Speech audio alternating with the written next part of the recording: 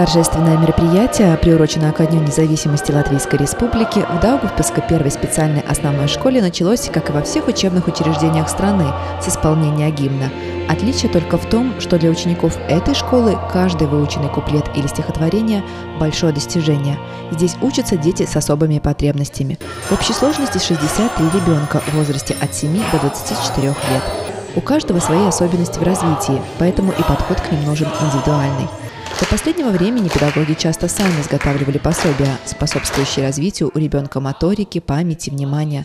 Но недавно к ним обратился Дагупилский комитет Латвийского Красного Креста с предложением организовать благотворительную акцию. Мы обратили внимание, что э, эту школу почти никто никогда не поддерживал. Может быть, у них есть там какие-то спонсоры свои отдельные, но таким вот мощным э, мощным благотворительным мероприятием. Э, впервые мы их отмечаем за многие годы, которые мы уже проводим эти акции. И надеемся, что и предприятия города, и образовательные учреждения, и другие э, организации поддержат нашу акцию, помогут сделать праздник для этих детей. Приобщиться к акции можно по-разному. Организовать для ребят развлекательное мероприятие, испечь сладкие угощения или подарить развивающие игры, конструкторы.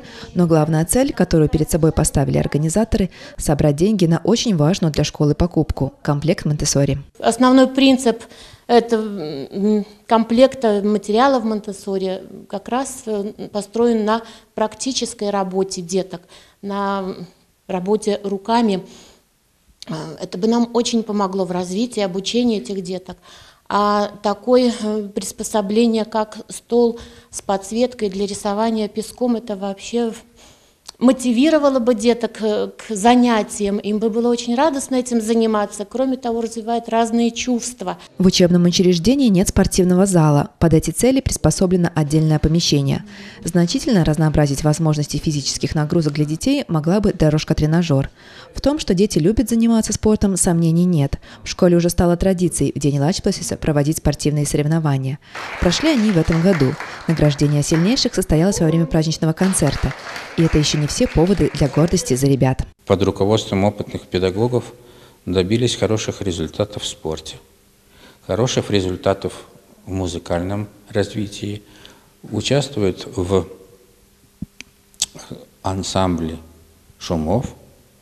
Также у нас есть группа Кустīgās rociņas, тоже участвовали в конкурсах НАЦ Лидзас и добились хороших успехов – для покупки тренажера дорожки и развивающих учебных пособий необходимо около 5000 евро.